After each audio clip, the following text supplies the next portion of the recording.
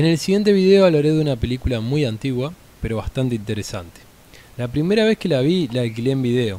La película se llama House, o Una casa alucinante. Esta película trata sobre un escritor de novelas de terror que es muy famoso, según vemos en el film, algo así como Stephen King. El escritor sufre de estrés postraumático. Luchó en Vietnam, además pierde a su hijo en esa casa en extrañas circunstancias y también a su tía, que fue quien lo crió tras fallecer su madre. Su tío también muere haciendo pesca submarina. Eso nos cuentan en la, en la película.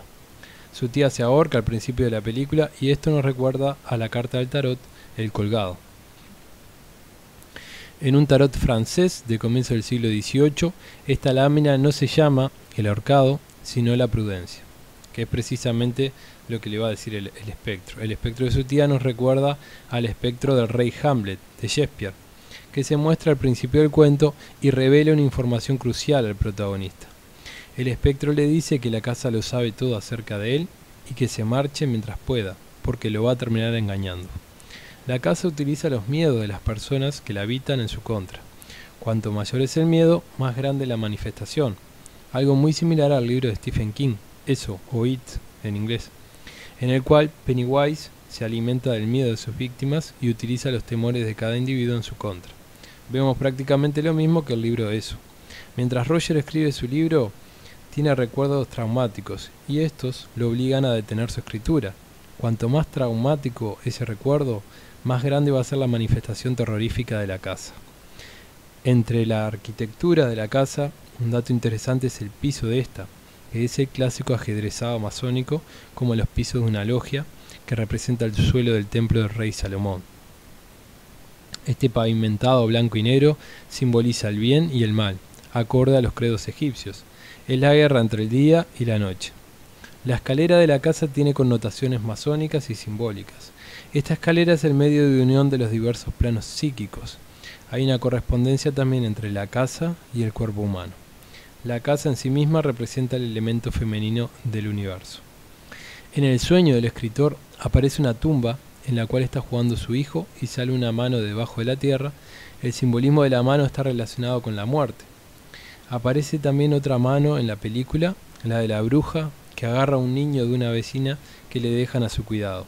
Vemos siempre la conexión entre el simbolismo del niño y de la mano. La mano del sueño de Roger hace alusión a los muertos saliendo de sus tumbas. En la playa de Punta del Este también vemos una mano saliendo de la playa.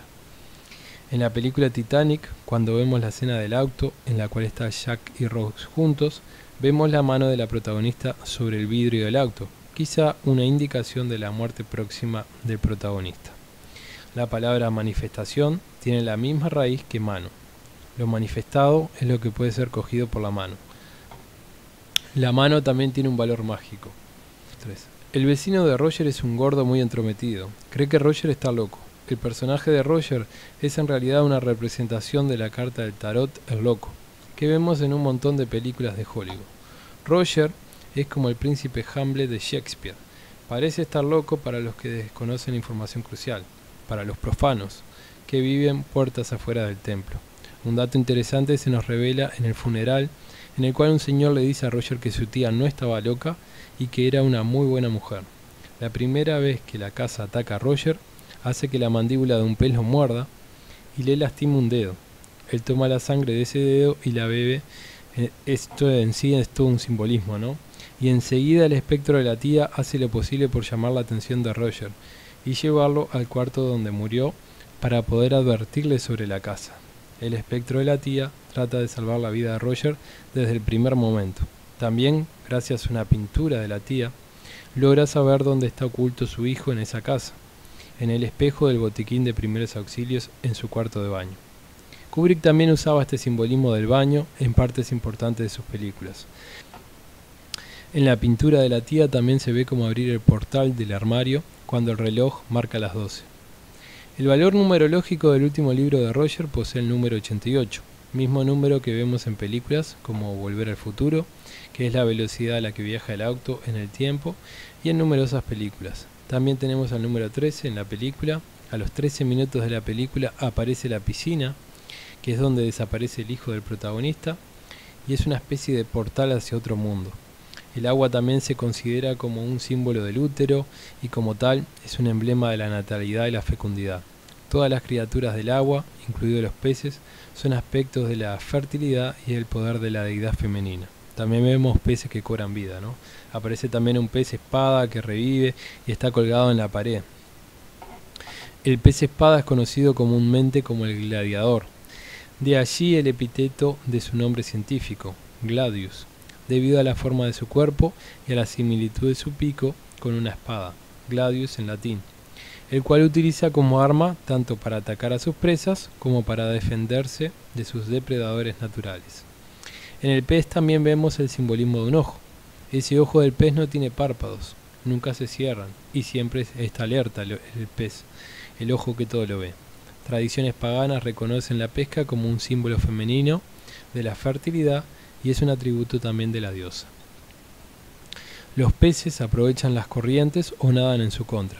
Así nos enseñan que, de igual manera, a veces debemos fluir con los acontecimientos y otras veces resistir y nadar contra corriente. El amigo del escritor que muere en la guerra se llama Big Ben.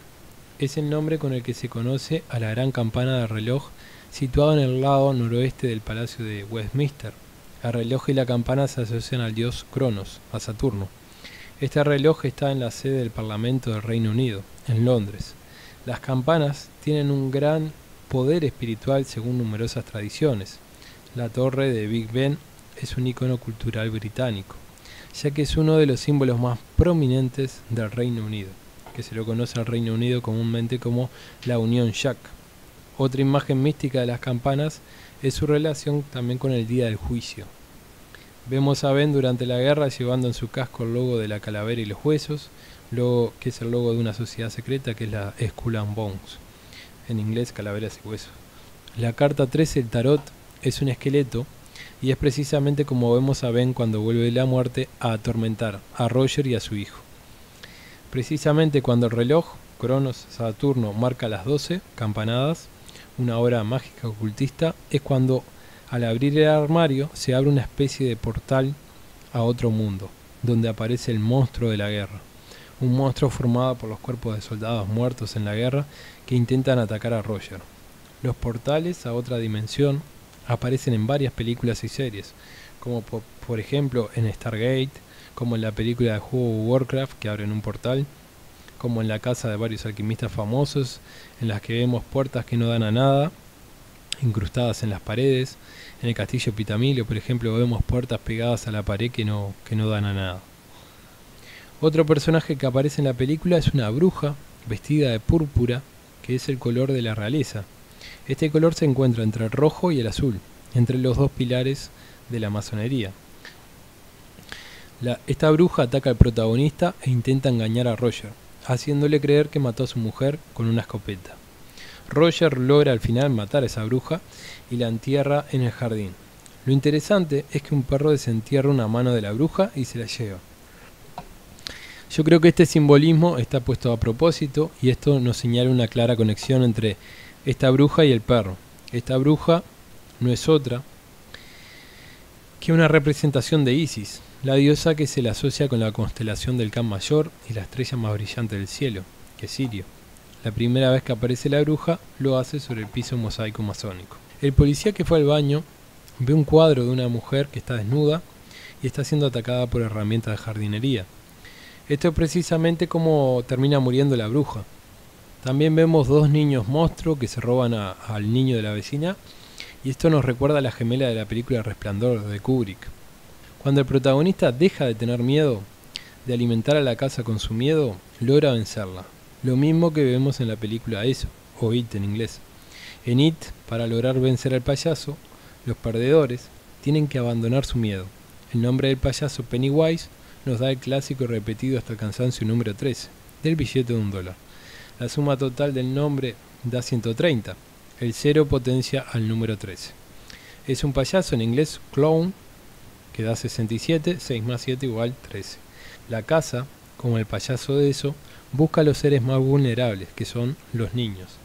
En este caso, al hijo del escritor y al hijo de la vecina. Toda la película es una metáfora masónica, El escritor se perfecciona a sí mismo a lo largo de toda la película, enfrentando y superando sus miedos y traumas. El último miedo que supera es darle muerte a su amigo Big Ben, algo que no pudo hacer en Vietnam y por eso tiene esa necesidad de escribir ese libro para superar el trauma de la guerra.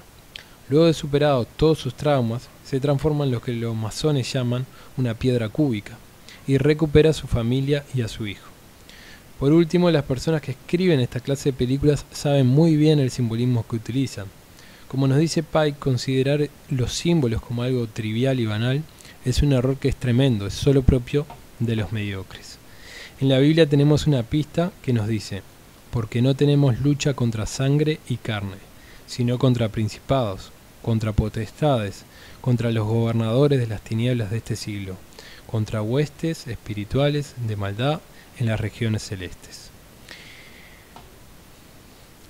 Y bueno, nada más, eh, espero que les haya gustado el video, si les gustó el video suscríbanse y nos veremos en el próximo video.